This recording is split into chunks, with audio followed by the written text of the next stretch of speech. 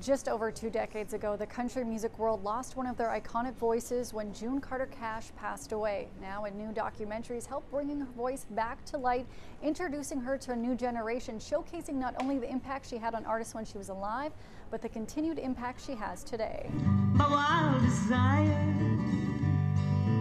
My wild desire, I fell into a ring of fire. Yes, many people may recognize that song, Ring of Fire, which her husband Johnny Cash made famous, but it was in fact June who was the mastermind behind it. And the new documentary explores the emotional pain she was in when she wrote it.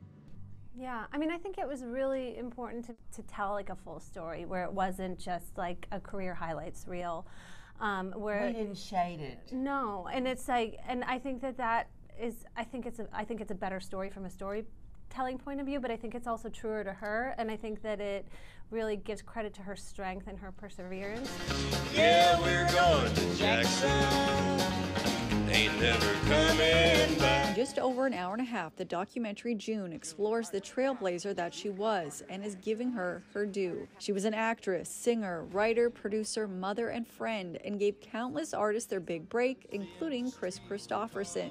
Aside from always giving a helping hand to other artists, she pushed the needle forward for women in so many ways in the entertainment industry, pushing back against the norms at the time.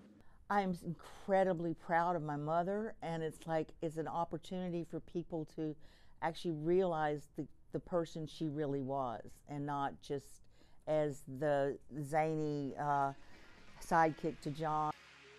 The documentary shows her perseverance and fierce work ethic, but it also highlights her empathy and humility. It's still therapeutic. I've cried, I've seen the, the film three times in public and uh, I didn't purposely watch it until the the premiere, and I I just wanted to have my own feelings about it, and I still cry in different spots. The film is executive produced by two of her children, Carlene Carter and John Carter Cash, both hoping to showcase truly who their mom was.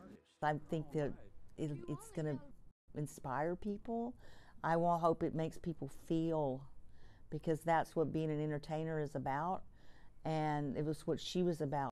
A fun little Canadian connection between June and Johnny Cash and their love story is the fact that they actually got engaged on stage in London, Ontario.